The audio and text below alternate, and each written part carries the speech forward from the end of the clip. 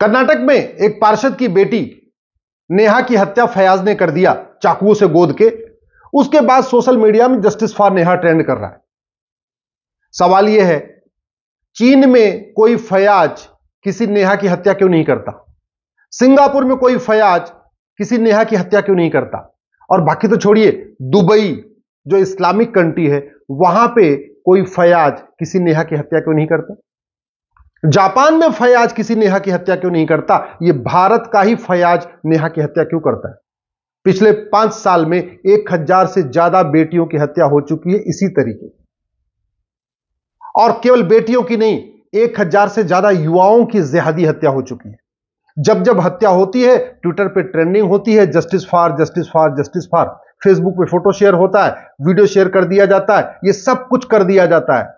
लेकिन समस्या का मूल कारण और समस्या का अस्थायी समाधान क्या है? ना उसको कोई नेता कहता है, ना कोई अभिनेता कहता है, ना कोई लेखक कहता है, ना बुद्धिजीवी कहता है, ना पत्रकार कहता है, ना कलमकार कहता है। कई बार तो ऐसा होता है जब जैसे जिहादी हत्याएँ होती है, टीवी पे डिबेट भी होती है। लेकिन न तो कोई एंकर पूछता है इस समस्या का मूल कारण क्या है, और ना कोई वहाँ पे जो आते हैं पैनलिस्ट, वो बताते हैं कि समस्या का स्थायी समाधान क्या है।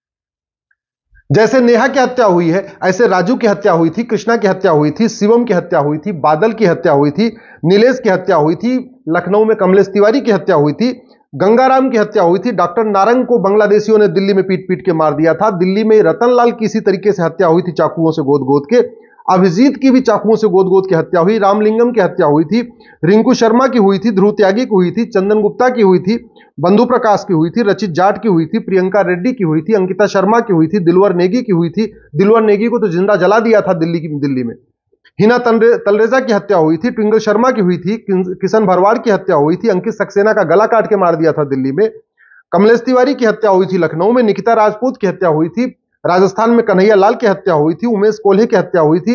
अब ये कर्नाटक में नेहा की हत्या हुई है, फयाज की। और जब जब हत्या होती है, पाँच चीज़, पाँच छह चीज़ें ज़रूर होती है। सब लोग कहते हैं, फांसी दो फांसी दो फांसी दो। फिर सब लोग फिर ट्विटर पे ट्रेंडिंग कर देंगे जस्टिस फॉर ये जस्टिस फॉर वो justice for Neha justice for Ankita justice for Kamlesh. ऐसे ट्विटर ट्रेंडिंग भी हो जाएगी। सब कुछ हो जाएगा, कुछ लोग क्या होगा, इकट्ठा होके, इकट्ठा हो जाएँगे, जुलूस भी निकालेंगे, उसके बाद पुलिस थाने का घेराव भी करेंगे। एफआईआर भी दर्ज हो जाएगा, पूछताछ भी शुरू हो जाएगी। लेकिन कभी ये नहीं सोचते कि इतनी हत्याएँ हो गई, आज तक किसी को फांसी हुई क्या? कभी हम ये सो मतलब इतने भुलक्कड़ हो चुके हैं कि कभी इतना दिमाग भी नहीं लगाते कि ये कोई पहली हत्या थोड़ी है। इतनी हत्याएँ हो चुकी हैं, हज़ारों हत्याएँ हो चुकी हैं, किसी को आज तक फांसी तो हुई नहीं। किसी के आज तक हंड्रेड परसेंट प्रॉपर्टी जब तो हुई नहीं। किसी के आज तक सिटीजनशिप तो खत्म हुई नहीं। कभी यह भी नहीं सोचते यार, ये जो हत्या भारत में हो रही है, कभी बंगाल में हो रही है, कभी तमिलनाडु में हो रही है, कभी कर्नाटक में हो रही है, कभी यूपी में हो रही है, कभी बिहार में हो रही है, कभी मध्य प्रदेश में हो रही है, कभी राजस्थान में हो रही है। ऐसी हत्या आखिर चीन में क्यों नहीं होती? ऐसी जिहादी हत्या सिंगापुर में क्यों नहीं होती? ऐसी जिहादी हत्या दुबई में, अरब में क्यों नहीं होती? ऐसी हत्या आखिर जापान में क्यों नहीं होती? कोरिया में क्यों नहीं होती? ये भारत में क्यों हो रही है? मैं बार बार कहता हूँ सठे साठ्यम समाचरित ये सिद्धांत भारत का है। जिन देशों ने सठे साठ्यम समाचरित सिद्धांत को अपनाया, वहाँ शांति है, समृद्धि है, खुशहाली है। भगवान श्री राम ने बोला था, भय बिन हो न प्रीत। जिन देशों ने भय बिन हो न प्रीत सिद्धांत को अपनाया, उसके अनुसार कठोर कानून बनाया, स्पीडी जस्टिस सिस्टम बनाया, वहाँ शांति है, समृद्धि है, खुशहाली। लेकिन भारत इतनी पुण्य भूमि सारे देवी देवता यहीं जन्म लिए। सारे शंकराचार्य यहीं जन्म लिए। चारों धाम यहीं पे। बारह ज्योतिर्लिंग यहीं पे। इक्यावन शक्तिपीठ यहीं पे। चौबीस तीर्थंकर भगवान यहीं पैदा, यहीं यहीं पे जन्म लिए। भगवान बुद्ध की कर्मभूमि यही भारत है। भगवान राम की कर्मभूमि जन्मभूमि भारत। भगवान कृष्ण की जन्मभूमि कर्मभूमि भारत। हनुमान जी की जन्मभूमि कर्मभूमि भारत। और यहाँ इतना अपराध है, इतना अत्याचार है, इतना भ्रष्टाचार है। और फिर भी जब कोई घटना हो जाएगी तो दोनों पक्ष तू तू मैं मैं करेंगे अपनी अपनी सुविधा के अनुसार। जैसे इस समय कर्नाटक में हुआ है तो स्वाभाविक सी बात एक पक्ष वाले शांत हो गए, दूसरे पक्ष वाले टूटे हुए। इसका जब उल्टी हत्या हो जाएगी तो दूसरा पक्ष एकदम उग्र हो जाएगा, आरोप प्रत्यारोप शुरू कर देगा, एक पक्ष शांत हो जाएगा। ब्राह्मण की भी हत्या हो रही है छत्री की भी हत्या हो रही है, वैश्य की भी हत्या हो रही है, दलित की भी हो रही है। बंगाल से भी पलायन हो रहा है, कश्मीर से भी पलायन हुआ था, नागालैंड से भी पलायन हो रहा है, अरुणाचल से भी पलायन हो रहा है, मणिपुर से भी पलायन हो रहा है। क्यों? क्योंकि भय नहीं है, कानून का भय नहीं है, भय बिन हो न प्रीत। और जब जब कोई हत्या होगी तो सब ट्विटर पे उबल जाएँगे, जस्टिस फॉर जस्टिस फॉर। लेकिन कभी ये नहीं कहेंगे, पुलिस रिफॉर्म के लिए कभी ट्विटर ट्रेंडिंग नहीं करेंगे, जुडिशियल रिफॉर्म के लिए ट्विटर ट्रेंडिंग नहीं करेंगे। पुलिस चार्टर लागू करने के लिए ट्विटर ट्रेंडिंग नहीं करेंगे। कानूनों को बदलने के लिए ट्विटर ट्रेंडिंग नहीं करेंगे। एडमिनिस्ट्रेटिव रिफॉर्म के लिए ट्विटर ट्रेंडिंग नहीं करेंगे। समान शिक्षा लागू करने के लिए ट्विटर पर ट्रेंडिंग नहीं करेंगे। समान नागरिक संहिता के लिए ट्विटर पर ट्रेंडिंग नहीं करेंगे। घुसपैठ नियंत्रण कानून के लिए ट्विटर पर ट्रेंडिंग नहीं करेंगे। धर्मांतरण नियंत्रण कानून के लिए ट्विटर पर ट्रेंडिंग नहीं करेंगे। जनसंख्या विस्फोट रोकने के लिए कानून बनाने पर ट्विटर ट्रेंडिंग नहीं करेंगे। मदरसा खत्म करके, मिशनरी स्कूल खत्म करके, भारतीय एक one nation, one education code बनाया जाए, उसके लिए ट्विटर पर ट्रेंडिंग नहीं करेंगे। जस्टिस विद इन ईयर लागू किया जाए कि एक घंटे के अंदर एफआईआर हो, एक महीने के अंदर जाँच पूरी हो और एक साल के अंदर फैसला हो, इसके लिए ट्विटर पर ट्रेंडिंग नहीं करेंगे। अपराधियों की 100 परसेंट प्रॉपर्टी जब्त किया जाए, नागरिकता खत्म किया जाए और इनको आजीवन कारावास फांसी दिया जाए, ऐसा कठोर कानून बनना चाहिए, उसके लिए भी ट्रेंडिंग नहीं करेंगे। बस दुर्घटना हो जाएगी तो जो दुर्घटना हो जाएगी, उसकी फ़ोटो उठा उठा के ट्रेंडिंग करते रहेंगे। कितनी ट्रेंडिंग कर चुके हैं? कमलेश फ़ोटो, कमलेश तिवारी की फ़ोटो खूब शेयर किया था। हो गई क्या? हत्यारों को फांसी हुई? उनकी प्रॉपर्टी जब्त हुई? उनकी नागरिकता खत्म हुई क्या? यही दिल्ली में कितनी हुई? डॉक्टर नारंग की हुई थी। उसके बाद दिलवर नेगी की हुई थी। कि दिल्ली दंगों में कितने लोग मारे गए थे? किसी के आजीवन कारावास फांसी हुआ? किसी हत्यारे को? किसी की प्रॉपर्टी जब्त हुई? किसी की सिटीजनशिप खत्म हुई? बाकी तो छोड़ दो। उन्नीस सौ चौरासी में जिन्होंने सिखों का नरसंहार किया था, उसमें किसी एक को बताओ जिसकी 100 परसेंट प्रॉपर्टी जब्त हुई हो, उसकी नागरिकता खत्म हुई उसको आजीवन कारावास फांसी हुआ। उन्नीस सौ चौरासी से 2024 ये तो 50 साल बीत चुका है। 50 साल के लगभग 40 40 साल हो चुके हैं, आज तक तो नहीं हुई।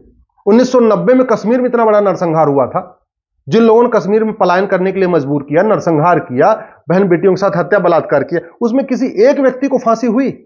किसी एक को आजीवन कारावास हुआ, किसी एक की नागरिकता खत्म हुई, किसी एक की हंड्रेड परसेंट प्रॉपर्टी जब्त हुई क्या? नहीं। ऐसे पूरे देश में अलग अलग जगह दंगे होते रहते ज़्यादा हत्याएँ होती रहती है। आज तक किसी पत्थरबाज की आजीवन कारा, किसी पत्थरबाज को आजीवन कारावास फांसी हुआ, उसकी नागरिकता खत्म हुई।